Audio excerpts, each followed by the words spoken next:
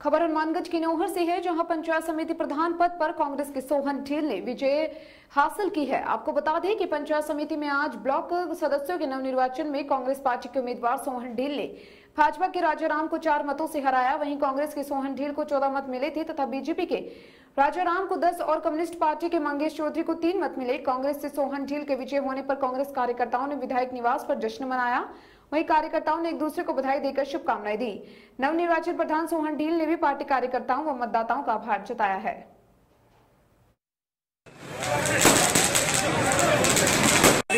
Congress party प्रधान बनने बहुत बहुत बधाई शुभकामनाएँ। सभी कार्यकर्ताओं का आभार धन्यवाद।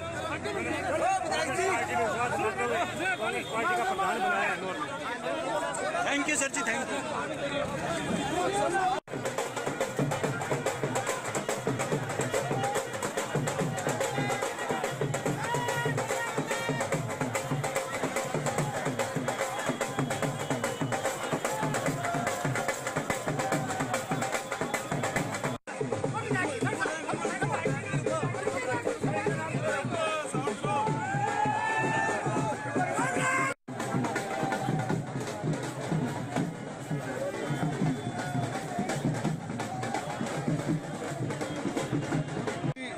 क्या राय रहेगी आप किस पार्टी से रहेंगे कांग्रेस से रहेंगे या सबसे पहले मैं चलेंगे आप सबसे पहले मैं नॉर्थ तहसील की तमाम कांग्रेस कार्यकर्ताओं जनताओं जनता का और हमारे कांग्रेस के वरिष्ठ नेता राजनीतिक चाचान के जिनके नेतृत्व में उनके रणनीति के तहत जो हमने चुनाव लड़ा जिसमें हमें कामयाबी मिली मैं विधायक जी का और चेयरमैन साहब का बहुत बहुत हमारे का बहुत बहुत आभार।